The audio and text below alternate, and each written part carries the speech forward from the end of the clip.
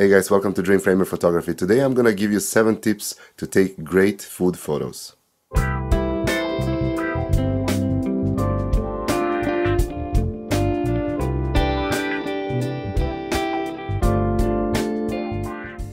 Food was always an interesting subject in stock photography, so much that some stock photographers base most of their career on taking just food photos.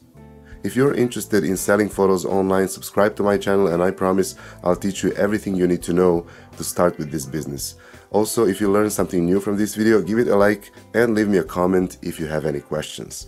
Now let's move to those tips that I wanted to share with you. The tips that will help you create better food photos. Tip number one, use natural light. You don't need expensive lights to create great food photos. What you need is just the window and indirect sunlight. Even better if the weather is cloudy, or if it's not cloudy, it's still okay if the sunlight doesn't go directly through the window and falls on the food to create harsh shadows. If that's the case, you will need a white tablecloth or white bed sheet to cover the window and create a diffuse, nice light source.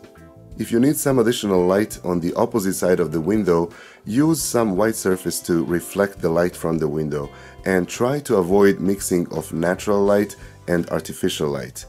In portrait photography, that could look interesting, but in food photography, not so much.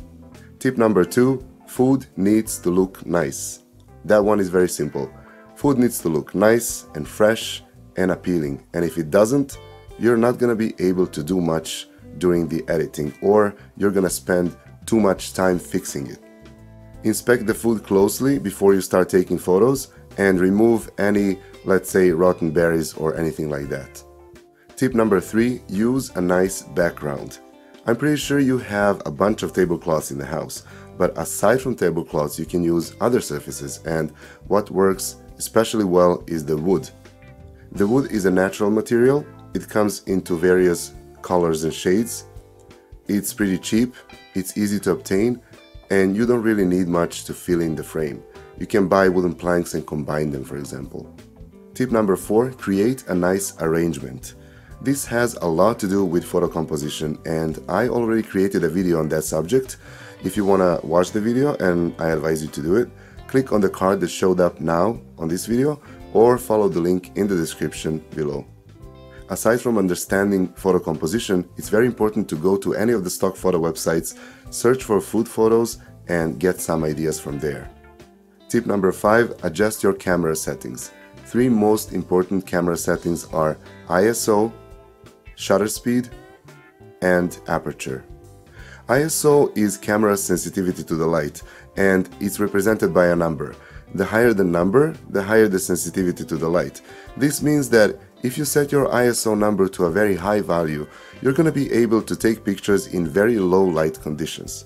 However, this has one drawback. The higher the ISO number, the more noise you're going to have in the photo. The noise is like graininess. So your goal should be to keep the ISO value to the lowest possible level in order to keep the noise at the lowest possible level as well.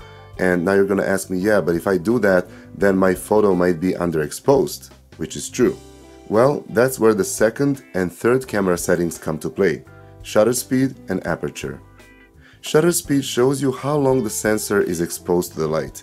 The lower the speed, the longer the exposure. So if you use low ISO value and your sensor is not really sensitive to light, you can compensate that by lowering the shutter speed. That way, more light will come to the sensor and the image will be correctly exposed.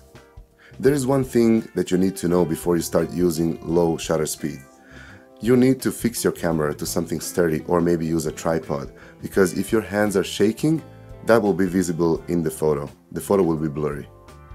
The third setting is the aperture.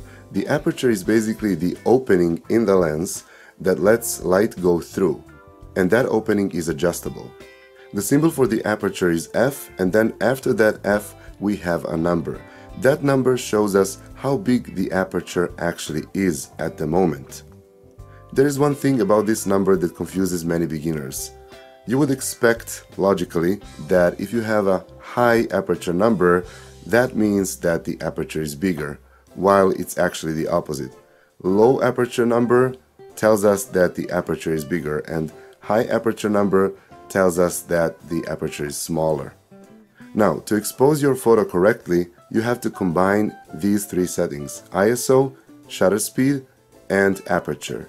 If you can afford to use higher ISO value, you can use high shutter speed and small aperture. Or if you have to keep your ISO value to very low, then you have to use slower shutter speed and bigger aperture. There is one very important thing that I have to tell you and it's related only to the aperture. If you take two photos of the same scene with different aperture values, these photos will not look the same and that's because more or less in these photos will be in focus. Let me explain. If the aperture is very small, most of the objects in the scene will be in focus and that's because the light will go through a very small hole in the lens and create a very sharp image on the sensor. It's the opposite if you use bigger aperture. The bigger the aperture, the less of the objects in the scene will be in focus. This effect is called depth of field and we can see it here on this example. Let's say this is a photo taken with a small aperture and this is the same photo taken with a big aperture. Tip number 6. Try different angles. As always, experiment with angles. Start directly above and then change the angle. If your food is not flat, like let's say pizza, you can try taking photos from very low angle, like this for example. And finally, tip number 7, keep the surfaces clean. The background needs to be clean. The dishes need to be clean. The food needs to be clean. You will be surprised what you can see when you zoom in. You can see the fingerprints, you can see the dust, and I don't even want to mention the hair. Nobody wants to see that in the food, okay? So if you don't want to spend hours cleaning up the mess in Photoshop, clean it up before the photoshoot. Just wanted to mention one more thing. If you're planning on using Photoshop, please consider joining through my affiliate link. I posted it in the description of this video. That way you're gonna support me and my channel. That was all for today guys. See you next week. Bye.